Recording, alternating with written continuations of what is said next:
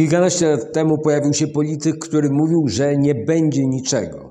żeby nie było niczego. Jak wszystko zlikwidować? To było trochę zabawne, trochę żałosne, ale generalnie wszyscy się śmiali. A dziś jest polityk e, z absolutnie głównego nurtu, bywalec europejskich e, salonów, z wielkim doświadczeniem w polityce, lider opozycji. Człowiek, który właśnie w taki sposób mniej więcej straszy Polaków i w taki sposób próbuje budować swój przekaz. E, Nikt nigdy do tych słów nie wraca, albo bardzo rzadko kiedy, a warto je zweryfikować po kilku tygodniach, po kilku miesiącach od tych strachów. Warto zweryfikować, y, na ile te słowa okazały się prorocze czy prawdziwe.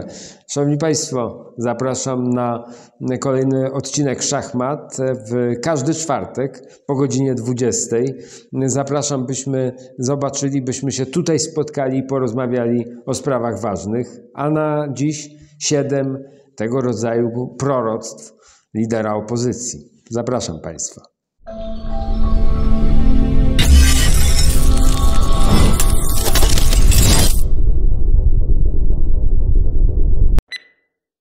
Niemiecka pomoc, jeśli chodzi o patrioty i rakiety, które mają nas chronić przed ewentualnym rosyjskim atakiem, nie, to jest zachodnie, to jest niemieckie, to jest absolutnie nie do przyjęcia. Wiem, że oni są na tej wojnie z całym Zachodem i z Niemcami przede wszystkim, ale y, partyjne gierki to jest jedno, a bezpieczeństwo Polski, bezpieczeństwo Polek, Polaków to jest sprawa absolutnie fundamentalna. Dlaczego odrzuca- odrzucacie tą propozycję? Dlaczego nie chcecie bronić Polski? Dlaczego nie chcecie bronić polskiego nieba? To mówił Donald Tusk, to tak mu wtórowali politycy jego obozu. E, Wtedy wszyscy pytali, dlaczego? Dlaczego polski rząd e, nie chce chronić polskich obywateli?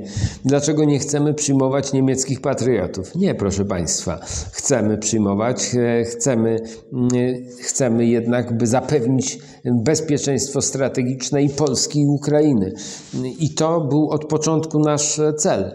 Wtedy, gdy wszyscy mówili, że się tego nie da zrobić, dziś po kilku tygodniach od tych słów każdy to może zweryfikować. Amerykanie zdecydowali się na takie posunięcie. Amerykanie przekonują do tego Niemców. Amerykanie przekonują Holendrów do podobnego ruchu. A więc co? Więc jednak można. I to jednak polski rząd miał rację. To prezes Jarosław Kaczyński, wychodząc z taką propozycją, e, po prostu w odważny sposób wykonał ważny ruch na tej szachownicy geopolitycznej. I o tym powinniśmy pamiętać. I kiedy kolejny raz będą mówili, że się czegoś nie da, bo oni są w ogóle taką formacją niedasizmu, miejmy to z tyłu głowy. Mówimy, mówimy dzisiaj w imieniu milionów tych, którzy boją się zimy, boją się ciemności i zimna.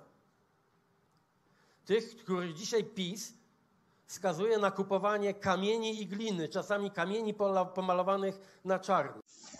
A więc tak, e, najpierw była histeria, natychmiast skończcie sprowadzać węgiel e, z Rosji. Natychmiast zastopować import rosyjskiego węgla do Polski. Później straszono Polaków, nie będzie węgla, nie będzie się czym ogrzeć. Sprzedają wam kamienie pomalowane na czarno. Tak e, wyglądała cała narracja. Nie tylko Donalda Tuska, e, także wszystkich prominentnych przedstawicieli opozycji. Dnia by nam nie starczyło, a już na pewno tego programu, by zebrać wszystkie wypowiedzi tylko czołowych e, polityków, liderów opozycji, liderów Platformy Obywatelskiej. Dzisiaj się okazuje, że cena także radykalnie spadła, że dzięki włączeniu w to samorządów, którym bardzo dziękuję za to zaangażowanie, można sprzedawać i można w miarę blisko mieszkańców e, sprzedawać ten węgiel po dobrej cenie. M, Dziś się okazuje, że dzięki dopłatom rządowym e, ta cena praktycznie nie urosła w porównaniu do zeszłego roku i dziś się okazuje, że po raz kolejny e, to straszenie Polaków było nie tylko na wyrost, ale było nieodpowiedzialne i wpisywało się po prostu w rosyjską propagandę. Ekspertów, którzy prognozują, że jeśli PiS będzie dalej rządził, to bochenek chleba w Polsce będzie kosztował, ci ostrożni powiedzieli, 10 zł. Ci najbardziej zaniepokojeni, że do końca roku może kosztować nawet 30 zł. Co takiego się stało na miłość Boga, że oni przez 7 lat z Polski, naprawdę kwitnącego kraju, dumy Europy, zrobili kraj, gdzie problemem staje się woda i chleb. Jak ten chleb po 30 zł Państwu smakuje? Nie wiem, gdzie go kupuje. Może Donald Tusk miał na myśli jakieś brukselskie rarytasy, gdzie w jakichś piekarniach może w przeliczeniu euro na złotówki można za 30 zł kupić chleb. No myślę, że ci, którzy chodzą do polskich piekarni, wiedzą, że takich cen nie ma. Owszem, jest drożej, to jasne, ale przecież e, chleb po takiej absurdalnej cenie nie jest. Mamy już e, ponad połowę stycznia zapasem, a więc widzimy, jak po raz kolejny Donald Tusk mijał się z prawdą, straszył Polaków, napędzał inflację. To jest skrajna nieodpowiedzialność i nieprzyzwoitość. Te brednia o tym kraju kwitnącym sprzed siedmiu lat to chyba tylko najtwardsi zwolennicy Platformy Obywatelskiej mogą tak widzieć rzeczywistość. Chyba zapomniał Donald Tusk, że Platforma straciła połowę swoich głosów. W wyniku czego? Tego, że tak wspaniale kwitnąco żyło się Polakom? No jemu na pewno. On przecież e, dostał pracę, w której zarabiał po 140 tysięcy miesięcznie, ale tak nie wyglądała rzeczywistość przeciętnego Polaka w roku 2015. I dlatego za tą butę, za tą arogancję Polacy ukarali Platformę Obywatelską. Nie miejcie wątpliwości.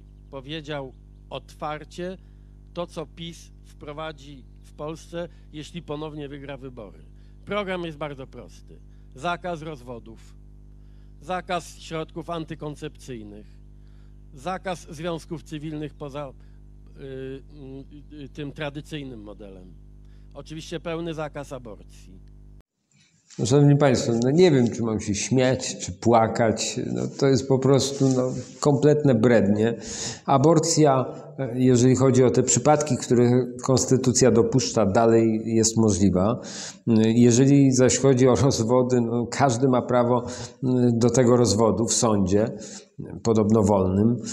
Jeżeli chodzi zaś o nie wiem, związki, śluby, no nie tylko są te kościelne, ale cywilne jak najbardziej funkcjonują. Każdy może żyć z kim chce, w jaki sposób chce, w swoim domu robić, co mu się naprawdę w święcie podoba, o ile oczywiście nie jest to przestępstwem, nie narusza wolności drugiego człowieka. Mm, więc e, no cóż, no po raz kolejny gra na takich najniższych e, instynktach, próba straszenia mm, rządami Prawa i Sprawiedliwości, no dość żałosne widowisko. Marsz na, na, na, na Polexit, znaczy to, ten, to, to przygotowywanie wyjścia Polski z Unii Europejskiej jest projektem serio. Więc ja nie jestem tego autorem ani, ale powiedział, e, kochani, tu nie żaden polexit nam grozi, tylko wypierpol. I mniej więcej domyślam się o co, o co autorowi chodziło. No, szanowni Państwo, Polexit to jest hasło. Hasło, którym od 2016 roku Platforma Obywatelska straszy Polaków. W zasadzie cała opozycja. Zmieniają się tam liderzy, zmieniają się nazwy formacji, ale jakby straszenie e, tym pozostaje bez zmiany. I proszę zobaczyć, nic się oczywiście przez te 7 lat takiego nie wydarzyło, ale to nie przeszkadza liderom opozycji cały czas mówić, że już ten polexit za chwilę nastąpi, albo może już następuje. E, od 7 lat ta sama propaganda cały czas w mediach. 7 lat trwa ten polexit i cóż, ktoś go zauważył? Jedynym, który to proponował, był lider Platformy Obywatelskiej, Grzegorz Schetyna, który proponował referendum o wyjściu Polski z Unii Europejskiej. E, no, to wszystko pokazuje, jak absurdalne są te twierdzenia, niedorzeczne i można zadać sobie pytanie, po co tak robić? No, odpowiedź jest bardzo prosta. To jest tak naprawdę jedyny punkt e, programu, no, takiego wprawdzie absurdalnego programu, który nie ma nic wspólnego z rzeczywistością, pod którym liderzy opozycji są wszyscy gotowi się podpisać i liczą, że przekonają innych. E, tak, no Polacy chcą pozostania w Unii Europejskiej. Nikt e, nie ma takich planów, by wyprowadzać oprócz jakichś ekstremalnych grupek Polskę z Unii Europejskiej. No ale fajnie więc opowiadać, jak to jest się za tym i budować alternatywną rzeczywistość, tylko że ona nie ma nic wspólnego z faktami. Okej, okay, może trzeba będzie w związku z tym rozebrać autostrady i, i, i Stadion Narodowy. Y, Może trzeba będzie wytrzeć I nie zbudować na przykład centralnego na portu komunikacyjnego, bo bez unijnych pieniędzy się nie da tego zrobić. I może, i czy polscy rolnicy będą musieli oddać te wszystkie pieniądze, które dostawaliśmy z Unii Europejskiej? Tak, no niewątpliwie autostrady już się zwijają, już w zasadzie nie ma żadnego kilometra. Rolnicy stoją w kolejkach i zwracają pieniądze. Mm, No, proszę Państwa, znaczy, no, poziom tego absurdu, tych, tych e, idiotycznych opowieści jest niesamowity. Trudno mi powiedzieć, czy ktoś to mógł uwierzyć, ale pewnie, pewnie tak. No, jest to przerażające. Jest to przerażające dla mnie, że w taki sposób zachowuje się lider opozycji. Wierzę, że wygramy wybory i bardzo bym chciał, żeby przyszła opozycja tak się zacho- zachowywała wobec polskiego rządu, jak to robi dzisiejsza opozycja. Czyli proszę bardzo, Donald Tusk by tego chciał. Chciałby takiej opozycji, tak? Takiej opozycji, która cały czas straszy, która mani próbuje manipulować, e, okłamywać opinię publiczną, e, która szczuje na rząd nie tylko tutaj w kraju, ale e, przed międzynarodową opinią publiczną, która stara się przedstawić Polskę w jak najgorszym świetle, blokuje pieniądze unijne. No rzeczywiście wymarzona opozycja. Kto, któż by takiej nie chciał? E, Chyba, że ma na myśli to, że jest e, jednocześnie tak nieudolna ta opozycja, tak e, kłótliwa, tak nie, nie potrafiąca znaleźć wspólnego mianownika. Mm, Ale tak naprawdę, proszę zobaczyć, to jest fałszywy prorok. Żadna z tych kasandrycznych wizji się nie sprawdziła i miejmy nadzieję, że i ta straszliwa wizja powrotu Donalda Tuska jako premiera się nigdy już nie sprawdzi, więc nie będzie miał okazji testować, jak to fajnie mieć tego rodzaju opozycję. Ja dziękuję Państwu za dziś. Dziękuję, że byliście ze mną. To oczywiście nie są wszystkie manipulacje. Proszę zobaczyć, jaka histeria narasta wokół wyborów, e, które mają być za chwilę w Polsce, wyborów parlamentarnych, zmian w kodeksie wyborczym, jakie znów e, straszenie się odbywa, jakie kłamstwa padają, jakie niedorzeczności się pojawiają. I o tym będzie następny odcinek Szachmat już w najbliższy czwartek o godzinie 20.